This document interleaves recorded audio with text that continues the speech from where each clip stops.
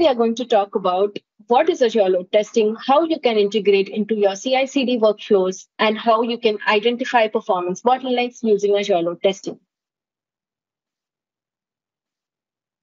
Hi everyone, I'm Nikita, a product manager in Microsoft. Hi everyone, I am Nagarjuna, a product manager with Microsoft, working on Azure load testing.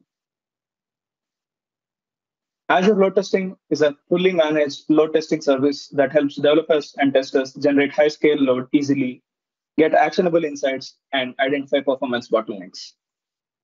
You'll be able to generate high scale load needed to load test your endpoints without needing any complex infrastructure.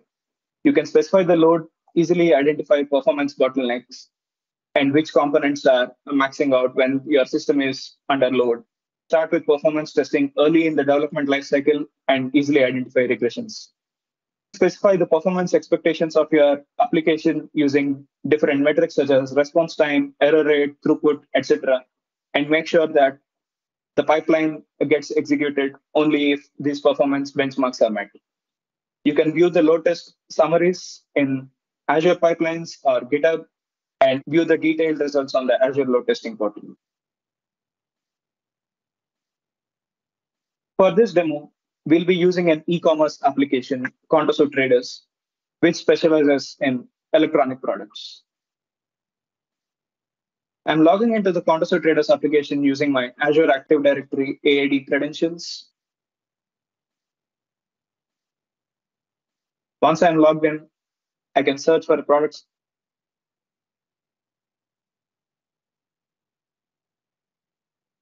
Scroll through the products, pick a product and add it to the cart. I can go to cart, view my items that I've added, and go ahead to check out the items.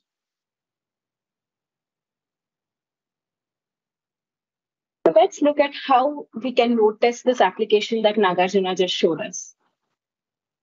This is a JMeter script that I've written for load testing the e-commerce Contoso Traders application. As you know, Azure load testing runs JMeter scripts at scale. So you can just uh, upload a JMeter script and run the script at, on Azure load testing. Uh, looking at this JMeter script, we have a thread group first for authentication.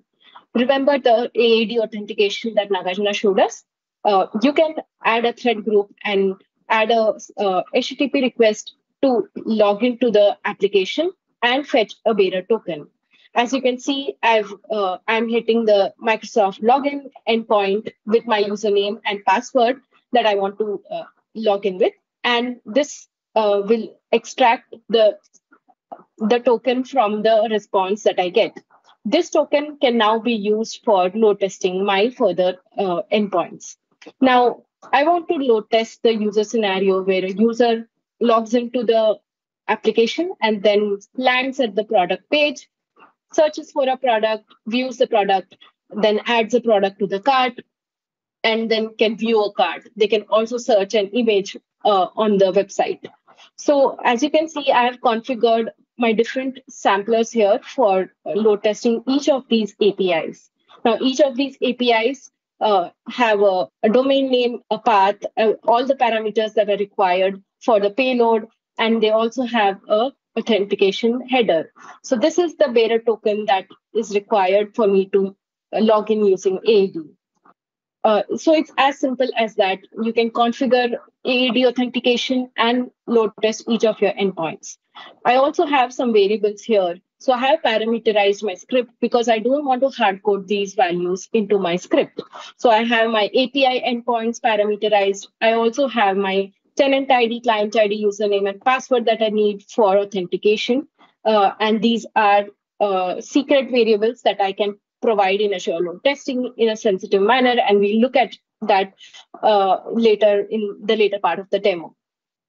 Let's now go ahead and see how we can run the load test in Azure load testing. We'll get started by creating an Azure load testing resource.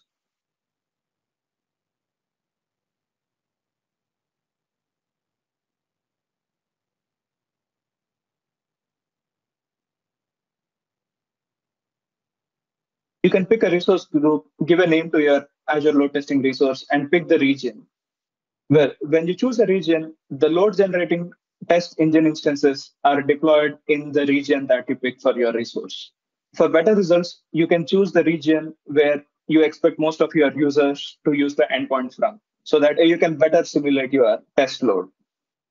The Azure load testing resource is a hub of all your load testing activities. It contains the different tests that you have created. You can create any number of tests as required, and you can run each of these tests multiple times whenever you need to run a test. You can get started with a quick test where you can just provide a URL, uh, multiple parameters in terms of the load, uh, the test duration, and the ramp up time. Or you can do a full blown uh, test using the JMeter script, similar to the one that Nikita just showed us. So let's look at how you can load test your application from a CI/CD workflow. So this is my GitHub repository, which contains the source code of the Contoso Traders application. So uh, as you can see, I have my application uh, uh, source code here, but I also have a, a, Azure load testing folder, which has all my scripts that I need to run the load test. Let's look at what I have in this folder. You see, I have the JMeter script that I just showed you some time back, uh, and I have committed this into my repository. I have all other files that I need uh, for me to run the load test. And I also have a config.yaml. Now, config.yaml is a way for you to uh, describe all your test requirements in a code format. So this is config as code for the load test. Let's look at what this file looks at looks like. So you have basic details of your test. You have your test name, you have the test plan, which is the JMeter script, you have the description of the test, the number of engine instances that you want to run your test script on, and uh, all your configuration files. So you, what is interesting is you can also define certain eh, service level indicators for your test. So I can define my failure criteria for different metrics that I want to monitor and make sure that my application meets these expectations that I have for my APIs. For example, uh, the view product uh, API, I'm setting up that my error percentage should not exceed 10%. Uh, I'm also setting some more uh, SLIs here where for the product landing page, I'm saying that 90th percentile of my response time shouldn't exceed uh, 3000 milliseconds. And similarly, I have a 90th response time for the view cart uh, and the threshold is 100 milliseconds. So I can set these criteria here, and based on how your application performs during the load test, uh, we evaluate these criteria, and you can pass or fail your workflow based on the results of these SLIs. These, this makes sure that if you have a code which does not meet your expectations, you are not promoting this code into production, which can result in uh, downtime and it could not lead to a great experience for your customers. So that's how you can make sure that the code that you promote to production is always uh, meeting your expectations. Remember, we had some secret values that uh, we needed for the authentication. So it's not good to check in your secret values directly into your uh, GitHub repository. And that's why you can just store them in a key vault and provide the secret identifier here. So as you can see, I have a client ID, tenant ID, the username and password that I need for logging in into my AAD credentials. And uh, I can just provide the secrets from the uh, key vault here. What Azure load testing would do is when the script is running, it will fetch the credentials from Key Vault in a secure manner and provide it to the JMeter engine when it is run. So this uh, secrets are not exposed anywhere and are very securely fetched and used during the load test. Uh, all other non-sensitive parameters like my endpoint for my APIs or any other parameters that I would like to pass to the load test, I can pass it as an environment variable here. Now let us look at what the workflow file looks like uh, and how I can integrate this load testing into my GitHub workflow. So this is a GitHub workflow uh, that I have that can run. Uh, you can schedule when you can run this. For this demo purpose, I've set a manual run, but you can run it on a schedule or you can run it when you have a PR or a commit uh, into your branch or repository. So I have defined uh, some variables which are my load test resource name, my resource group, and the location. These are the ones that uh, you just saw uh, when Nagarjuna showed you in the portal. So uh, in a CI/CD workflow, you can create these uh, infrastructure that you need to run your load test using the ARM or the bicep uh, templates. now let us look at how you can run the load test. So I have a login to Azure action here where I just use Azure login action and uses uh, a service principal to log into my uh, Azure account. Now, when I use the Azure load testing action, I can just provide the load test config YAML file that we just saw, and then provide the name of my resource and the resource group. Once I'm done running the load test, I can I get all the results of the load test, uh, which are exported into your GitHub workspace.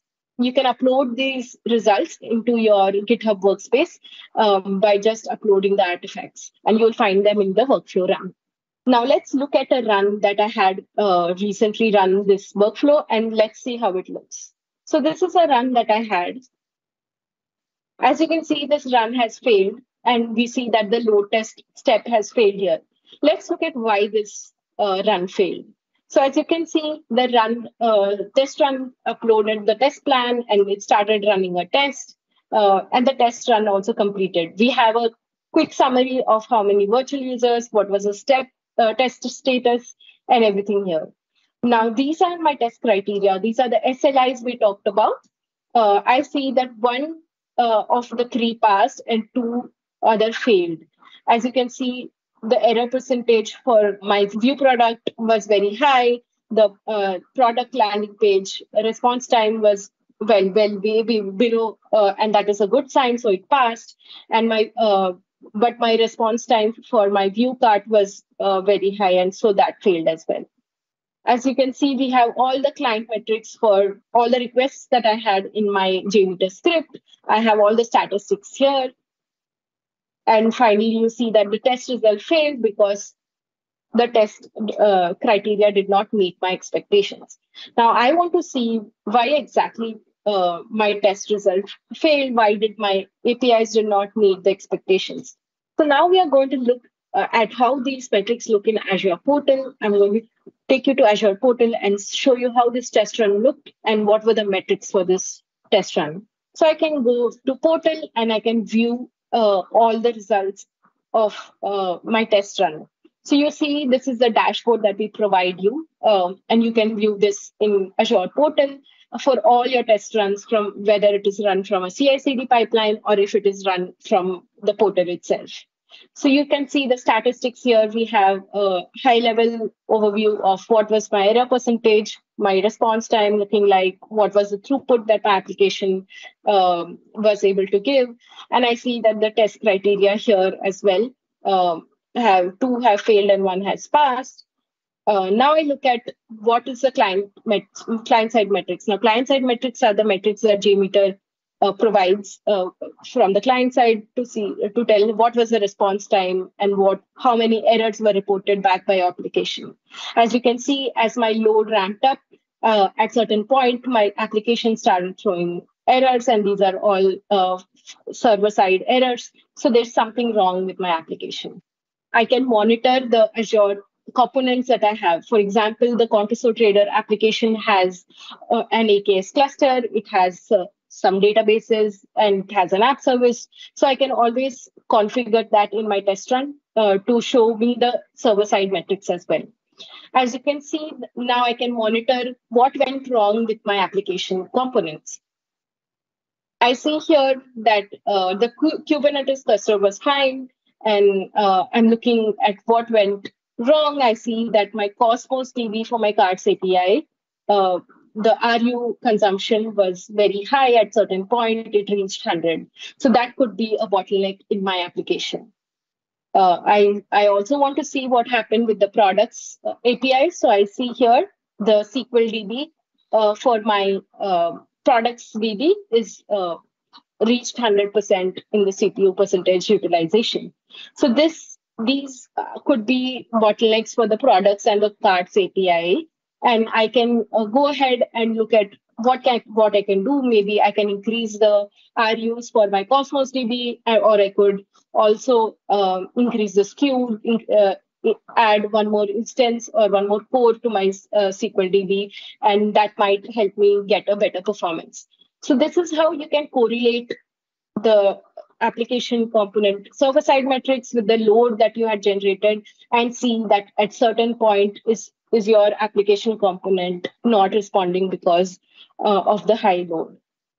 So in this session today we looked at the azure load testing service how it can be used to generate high scale load against endpoints hosted on azure or on premise or in any other cloud. We looked at how to set up a jmeter script to load test an e-commerce application the Contoso traders.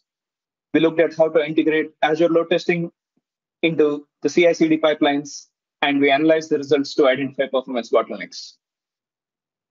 You can try out the demo by using the sample repository and the artifacts available there. You can use the resources available at aka.ms slash malt resources to get started with Azure load testing. And please do share your feedback on Azure load testing at aka.ms slash malt hyphen feedback. Thank you.